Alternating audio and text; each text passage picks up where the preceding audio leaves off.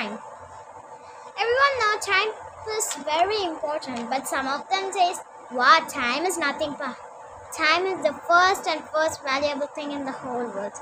Without time, we cannot do anything in this world." And all the continents, countries have their different time, right? If here is 9 o'clock, there in Singapore, if you think it will be like 1 o'clock in the midnight, it will be?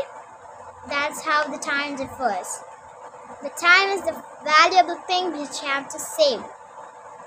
See here, what until you are thinking about time, the time is a timetable.